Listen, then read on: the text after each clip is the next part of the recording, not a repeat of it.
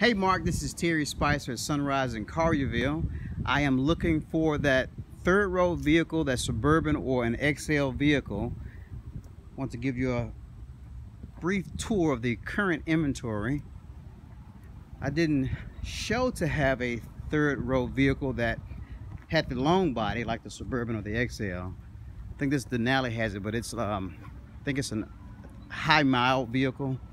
I know your price point. This one here just while I'm back here with it. It's a 2012 model, 137,000 miles.